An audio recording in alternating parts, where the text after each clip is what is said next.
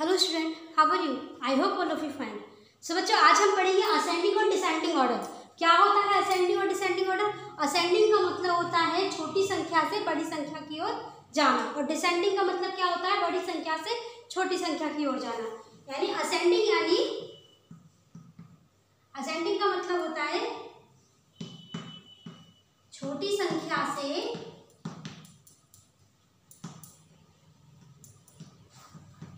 बड़ी संख्या।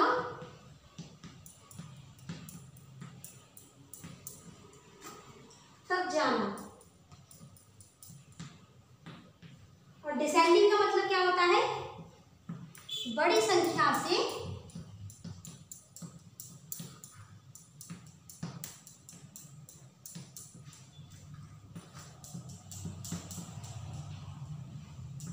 छोटी संख्या तक जाना।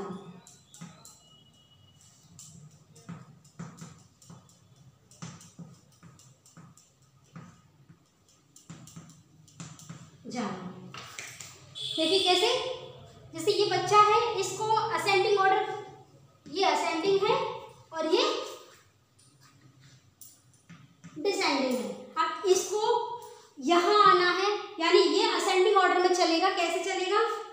वन पहले पहली सीढ़ी चढ़ेगा, फिर दूसरी, तीसरी, चौथी, ऐसे ही चढ़ता जाएगा five six seven eight nine और ये आ गया टेन तो ये आगे क्या? असेंडिंग ऑर्डर में, यानी वन से लेकर के चला वो टेन तक। One two three four five six seven eight nine ten ये आ गया असेंडिंग ऑर्डर में। अब इसको डिसेंडिंग ऑर्डर में नीचे उतर के जाना है तो कैसे चलेगा ये? यहाँ आएगा ten nine eight seven six five four three two one ये क्या है? डिसेंडिंग ऑर्डर और ये है ascending order descending ascending order में वन से टेन तक गया और डिसेंडिंग ऑर्डर में टेन से वन तक आया।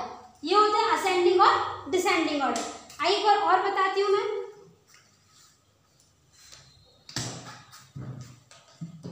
देखिए, ये असेंडिंग ऑर्डर में है। यहाँ से चलेगा बंदा। One two three four five six seven eight nine ten ये हुआ असेंडिंग ऑर्डर और डिसेंडिंग ऑर्डर में कैसे चलेगा? टेन से स्टार्ट करेंगे। Ten nine eight seven six five four three two one यानी ये आप बैक में चलेंगे और ये फॉरवर्ड में चलेंगे।